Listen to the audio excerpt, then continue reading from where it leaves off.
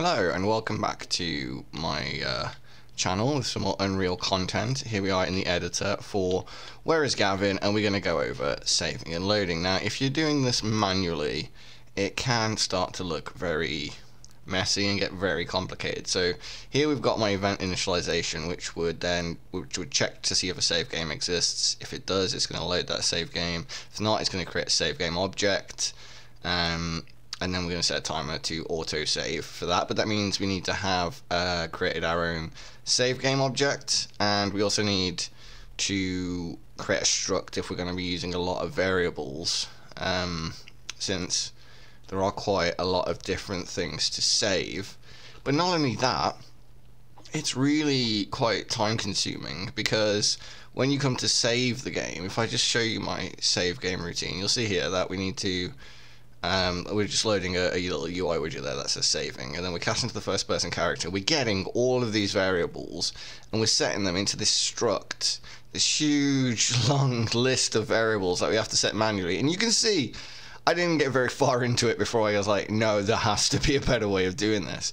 And luckily for us, there is. So what you want to do is go over to the Unreal Marketplace and grab yourself this little bad boy. It's Save Extension by Piperift. Now, Full disclosure, it doesn't support every engine version, as you can see here.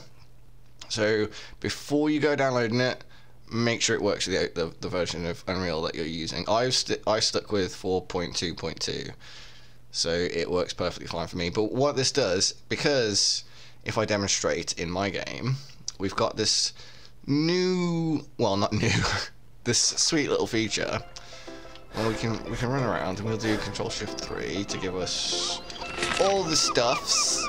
And like in my world, in my game, you can put stuff down. So we can put stuff down, make like a little uh, platform.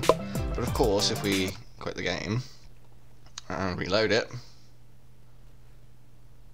it's going to put us right back where we were, and none of those lovely blocks have saved. But what this nice little add-on allows us to do is this very important thing right here. All actors are automatically saved. World will come back to what it was before.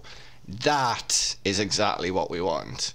And also this ability here to tag a variable anywhere and save it. So what we do effectively is instead of um, I'm losing all my bits. So there's grabbing each of these variables each time and then when we load the game loading all of these variables each time. You can see how messy and time consuming doing all of this can get especially if you you've got if I'm saving these blocks of different states because I tried for ages and ages and ages setting up arrays of transformations and trying to get these actors to load in um, and in the end I just said no um, and I went looking for stuff that could help and I found this which just it just works so if I show you the code I've got for it currently. This is all it takes to save. Just this bit here. I've got it mapped to F5 and F6 at the moment, which is probably a mistake because F5 makes it go the screen go nuts. Uh, I mean, it's it's one of the debug uh, viewers, but basically, I'm just loading and saving to, and you can change the slot ID and have that increment and have the player have difficulty. Basically, just two commands: load and save. Now, the way this works is if I go into my first-person game mode, where I've got all my variables, that's my little code for the cheat, the cheats. Um, if you look at one of these, it's got this little save game modifier, and if you tick that, it means that the game will automatically save that variable. So now, if I load the game up, it's always going to load me in at the default level. And if I press F6, there's no but now I've pressed F5 and the screen's gone uh, into debug mode. So now if I were to load the game up and then immediately press F6, there we go, it's going to put me straight back to where I was. So now what I can do is, if we bring up the menu, you'll notice I've got no blocks. So if I let go away, and then we do Control Shift F3, give ourselves all the blocks, and now what we can do is hit F5, and now, if we reload the game, you'll see that when I press F6, whoop, and then bring up the menu, it's remembered all of those values. So I didn't have to go and do them one at a time into this big old list here. All I had to do was flag them to save. So whenever you create a variable and you want to go, you're going to want it saved at the time you create it, just tick save game.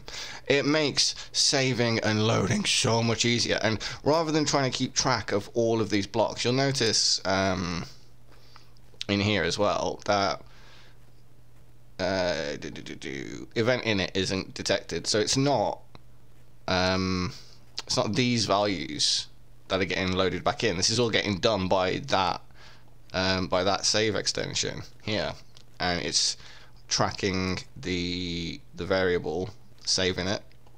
And now what we're going to demonstrate is the all actors stuff. Now, like I say, I've got a bit of a building mechanic to my game. So if we jump back in now, um, let the game load. There we go. Skip past that. There we go. So now we can bring up the menu and it saves all of our items, our position, and everything like that. So if we pop down a few of these blocks here, like so. Oh, no, come on. There we go.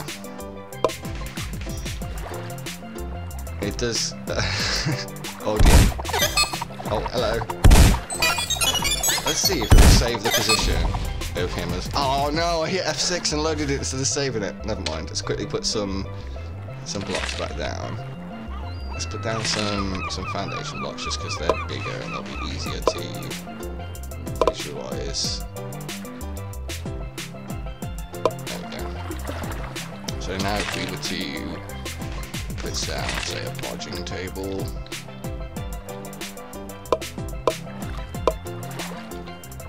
Interesting not decrementing. Oh, it is. Just didn't decrement the wet planters. Just decrement those properly. So it's just me debugging my own game now. Yeah, it's it's not decrementing the concrete blocks.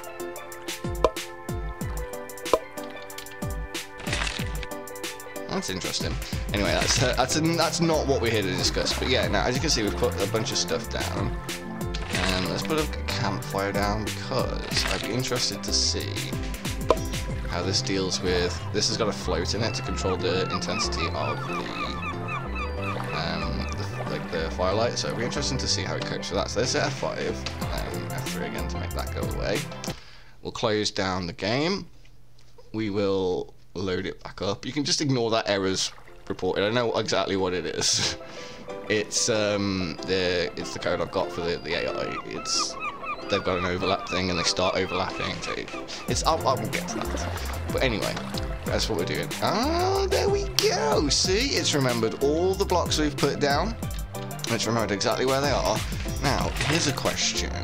If I take the nannies and I plant nannies in all of these little planters here, will it remember how growed they were? So, and also will it remember the soil status of this, these plants? So let's just get my bucket out, grab some water into it, and will it remember the bucket contents? Because I haven't specifically told it to do any of this, so I'm just kind of stress testing to see how robust this new saving thing is. So let's hit F5 again, F3, quit the game, start it again. F6. Beautiful. So bring out my bucket. So it remembered the contents. I, I you could hear the water splash, but it didn't um, restore the the graphical thing. And it looks like it's not remembered. It's not even remembered that these were planted. So those are just some bug and things that I will have to attend to. But you can see how robust this system is. So F6 again, F6 again, turn this way. It even remembers exactly where you were looking. It is fantastic, and if you're like me and you were looking for a solution to this very problem, this, my friends, is your cup of tea. So I'm going to leave that one floating there, and we'll hit F6. Oh god, to be shot at as well. So So that will be interesting to see if it remembers we were being shot at. So let's just load that up. We'll do F6. Oh, it does as well, look! Even the little cannonballs and the little floating bouncing. Oh, that is beautiful. So yeah, so if you want to do loading and saving the easy way with the minimal of coding, I cannot recommend this plugin enough. It has saved my absolute life and I love it. Look at this, less than six milliseconds to save 10,000 actors. 10,000 actors? What madman's having that many in their level? Nuts. But yeah, anyway, I hope you enjoyed this little deep dive. Um, if you did, just like, subscribe, and stay tuned for more Where's Gavo?